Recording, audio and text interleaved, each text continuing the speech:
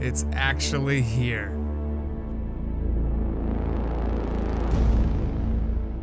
Ugh, it's been about six years since we've gotten a Halo game, about nine since we've gotten a decent one, and fucking 11 since we've played a great one. For fans new and old, it's easy to see the prominent rift in the series, what many would describe as the Bungie golden years and the later 343 disorganized mess. Now, that's not to say the 343 titles were entirely crap, there was still a lot to love. Halo 4 had excellent gunplay, maps, and some fun new ideas. Even the campaign was alright at times, and Halo 5 had.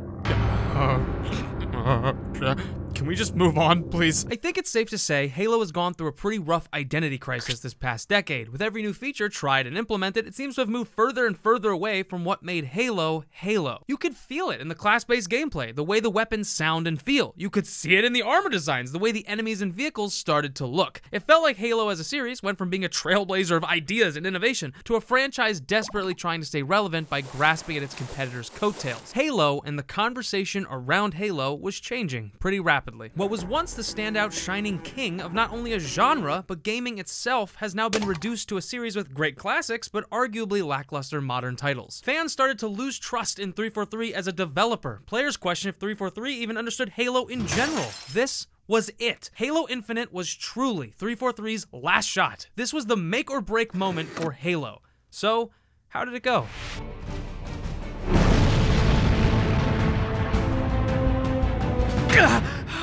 Oh my god! Halo. Halo is back.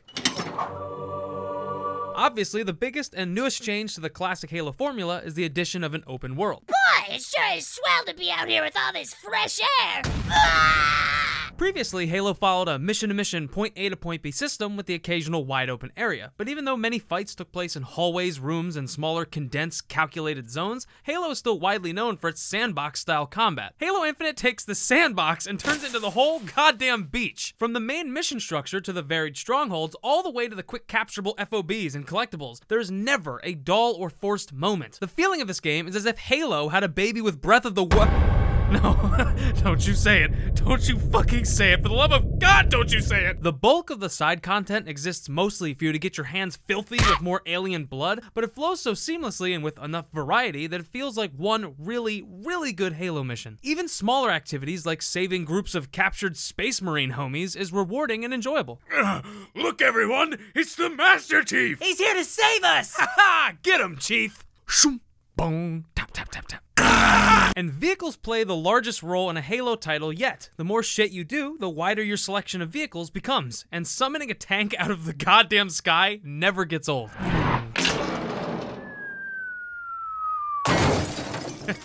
you probably thought that tank was gonna crush me. Sorry, my comedy goes a lot deeper than you can even fill a Razorback with rescued Marines, equip them with previously unlocked legendary weapons, and inflict cosmic terror on any who oppose you. In addition to the fun, wide open vehicle sandbox, movement has been greatly improved in general by the new grappling hook, which I'm pretty sure you already know how the reception went for this. It is time, my friend. Take your rightful place. Sit upon your throne. But what if they don't like it? What if they say grappling hooks don't belong in a Halo game? That's just the thing. Grappling hooks belong in every game. Yeah, spoiler alert, numbnuts, it fucking rocks. Swinging on cliff sides to ambush the enemy like a more violent Spider-Man? Snagging onto a chieftain and knocking him out with the most satisfying punch animation I have ever seen? Grappling a fusion coil to throw at the next one. Shit. Strictly from a gameplay perspective, this is Halo at its best. Finding Spartan cores to upgrade your abilities, swinging by a previously captured FOB to pick up Marines to roll up on a fucking assassination target, taking him out and getting a new unique weapon to use while taking down a banished fortress. Truly, the flow of combat has never felt better. And all of this isn't even taking into consideration how good the main story is. So, to keep it short and spoiler free, it's minimalistic, but meaningful. Each set piece stands out, and the contrast of the scale of everything really shines here. We've had so many campaigns filled with massive units and large scale teams, but here we have the chief, the weapon, the pilot, and their many interactions with the characters in the unfamiliar world around them. The Banished are brutal, but riveting. Zeta Halo is expansive, but personal. I honestly had a fucking blast, more so than I really thought I would. I mean, even the series famously known for unimaginative boss fights managed to make multiple this time around that I found genuinely gripping and fun. What's interesting is this is obviously the biggest departure from the classic Halo formula yet, but in the pursuit of change and evolution, they managed to make a game that feels more familiar than anything we've played in a decade.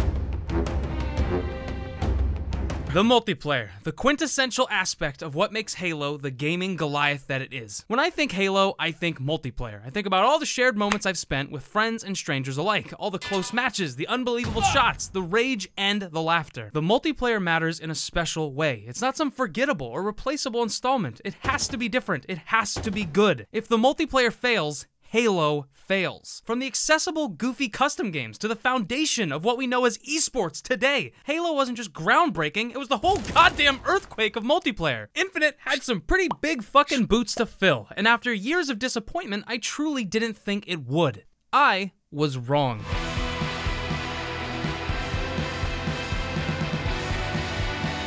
I'm going to be as clear and blunt as humanly possible here. This is the best multiplayer gameplay we've had since Halo 3. Yes, I'm saying gameplay wise, this is better than Reach, 4, and 5. Every single weapon has been given loving, calculated care. Everything has punch, texture, and feels great to wield. Except for the Ravager! Fuck the Ravager! Me and my homies hate the Ravager! The skewer feels chonky as hell. The sentinel beam feels terrifying, and the gravity hammer, I, I just don't possess the words to properly describe how this weapon makes me feel, so I'll just let this video explain it.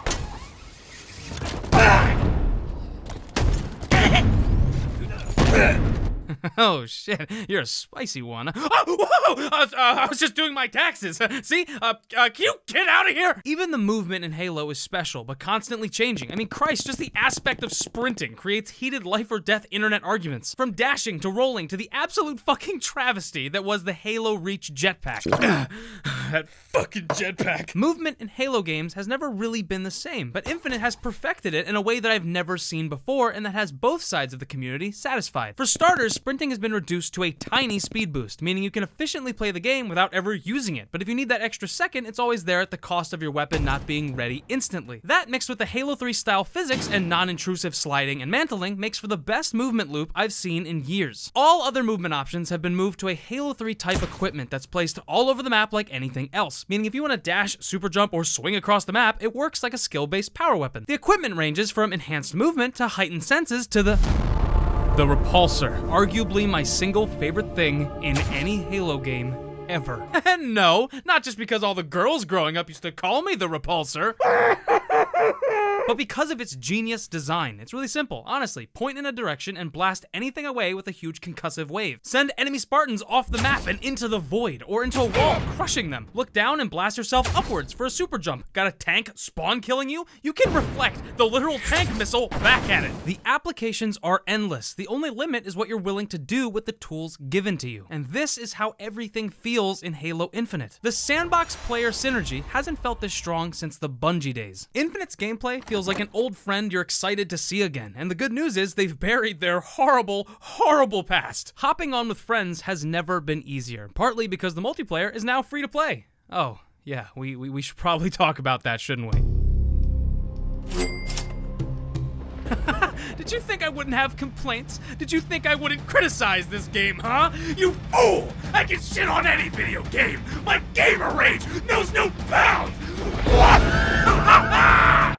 The monetization is fucking awful. The store is insanely expensive. It's like $20 for one suit of armor, and then that same suit of armor can be locked to an armor core, which is some arbitrary restrictive bullshit that means sometimes you can't mix certain armors and colors with each other. And by the way, even the colors can be like eight fucking dollars. Oh boy, should I order lunch or should I purchase blue? So moving on away from the store and to the battle pass, the battle pass is actually pretty good. It's like 10 bucks and you get a lot of stuff, but like any battle pass, you still need to grind it out by playing and earning XP through challenging. Oh god, the challenges. Oh Christ, the challenges. Some are insanely specific and can take hours, if not days, to finish. Then, when you actually do finish one, it's like 200 XP and you need a thousand for a single level. As of recording this right now, it's pretty fucked. But in fairness, 343 in less than like a month have made multiple really good changes. So who knows, by the time I release this, many issues might have already been fixed. That'll be fun to see. Ah! Oh, hey guys, it's uh, me from four months in the future because animation takes a long time to make, and I just want to make a quick little update here. So, the good news is they actually improved the shop, progression system, and stability a ton, but the problem now is for a live service free to play game, the content updates are few and far between. Don't get me wrong, I still absolutely love this game, but if they want players to keep coming back every single week, we need more large content updates, events, rotating playlists, new maps, and modes to keep things fresh. And that seems to be the general consensus right now. The game is excellent, but if it wants to stay relevant, it needs more frequent and bigger content updates. All right, that's it. Back to the main. As it stands right now, the progression, cosmetics, and a few other things still need a lot of work, but I've never been more optimistic about a game's future than I am with Infinite. It's clear that 343 cares about Halo Infinite, and some of these issues can probably be attributed to the vile corporate warlocks that oversee every monetary decision. What matters is the game plays and sounds fucking excellent excellent. And speaking of which, I haven't even mentioned what might be the game's greatest achievement.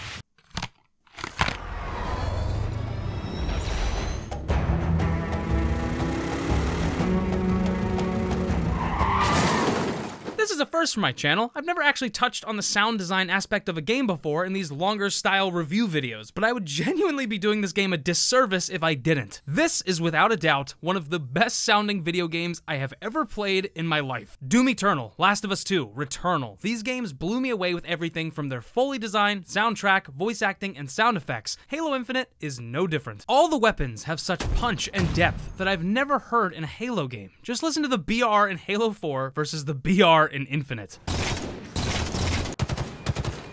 One of these things I want to smother with a pillow, and the other I want to take on a nice date and introduce them to my parents. Even the sound cues when you pick up a skull or a collectible are outstanding and filled with character.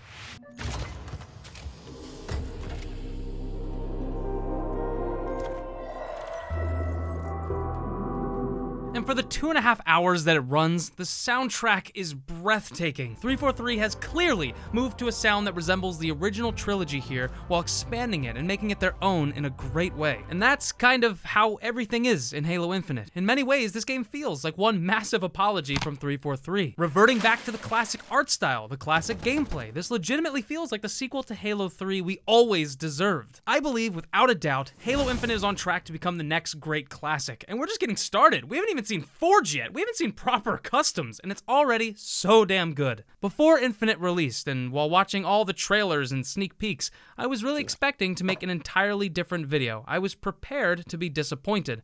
I'm so happy to say that I was completely wrong. now, if you'd excuse me, I have to go scream at my teammates because they have no fucking idea how to pick up the goddamn oddball!